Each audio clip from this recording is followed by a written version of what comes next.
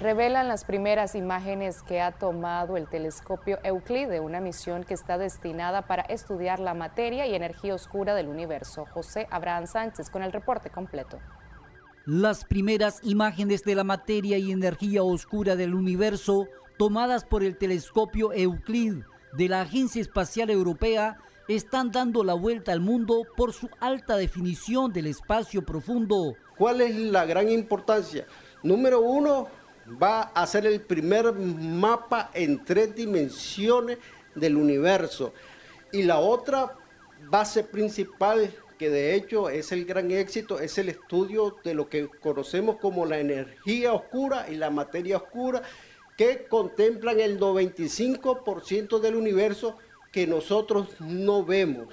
Para información a la población, nosotros vemos aún a través de los telescopios solo el 5% de nuestro universo, ya que un 70% está compuesto por energía oscura y un 25% por la materia oscura. El telescopio Euclid, construido por la Agencia Espacial Europea, tiene el costo de 788 millones de dólares, precio muy inferior al telescopio norteamericano Jenwed, que tuvo el valor de 10 mil millones de dólares.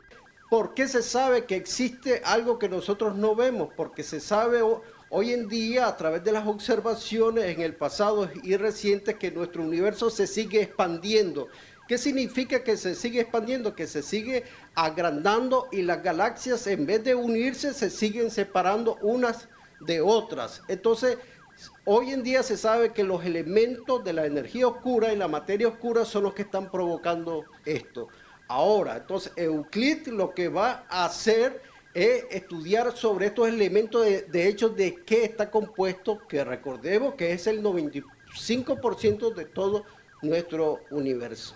Los científicos investigan qué hay más allá del infinito en el universo. Este telescopio está ubicado en la puntos de Lagrange L2.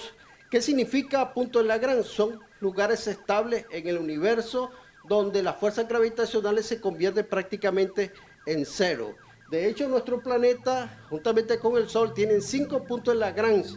Sin embargo, la importancia de esta ubicación, de este punto de Lagrange, es de que está más alejado que nuestra Luna, está a 1.5 millones de kilómetros, ya que nuestra Luna la tenemos a 384 mil 400 kilómetros de distancia. Entonces, no, nos va, no le va a afectar ni la radiación solar, ni nuestro planeta Tierra, ni nuestra luna. Entonces es por eso que vamos a tener esto, estas imágenes del cielo profundo de una manera extraordinaria. Con cámara de Erasmo Hernández, José Abraham Sánchez, Acción 10.